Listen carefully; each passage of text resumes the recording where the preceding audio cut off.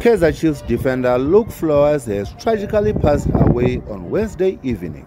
Welcome to Football Navigator where you get all your latest sporting content. Please don't forget to subscribe and also share this video across all soccer fanatics. The 24-year-old defender lost his life after he was a victim of a hijacking. The Kaizer Chiefs defender was shot and killed during the ordeal in Johannesburg.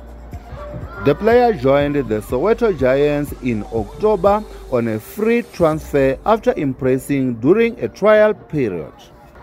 Football Navigator would like to send condolences to his family and friends in these trying times.